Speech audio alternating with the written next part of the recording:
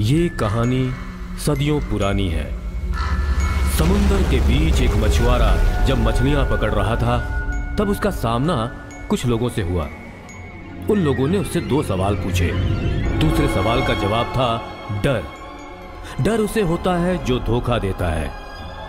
धोखा शब्द आने से पहले उससे पूछा गया था पहला सवाल, यदि किसी बेगुनाह इंसान को सजा मिलती है और उससे माफ़ी मांगने को कहा जाता है।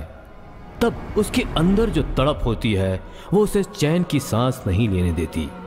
और ज़िंदगी भर वो आंसुओं के बीच में तड़पता रहता है। उसके अंदर का प्रतिशोध उसे गुनाह के रास्ते पर ले जाता है। और बदला लेने की चाहत उसे कभी सुकून से नहीं जीने देती।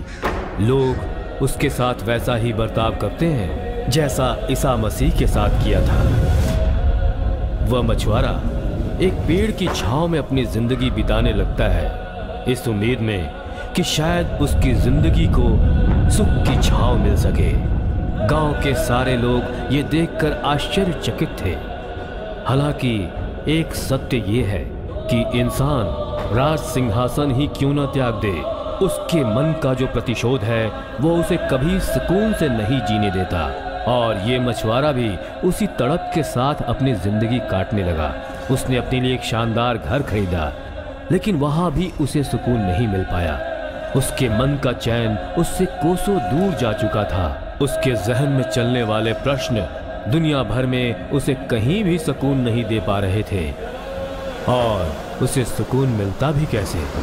क्योंकि एक मछुआरे की ज़िंदगी समुंदर के किनारे ही संपूर्ण हो पाती है।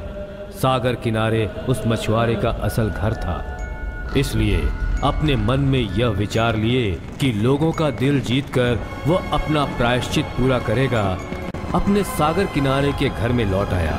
ये सही भी था, क्योंकि जब तक मन की कलुषता को कब्र में दफन न कर दिया जाए, मन को कभी सुकून नहीं मिल सकता।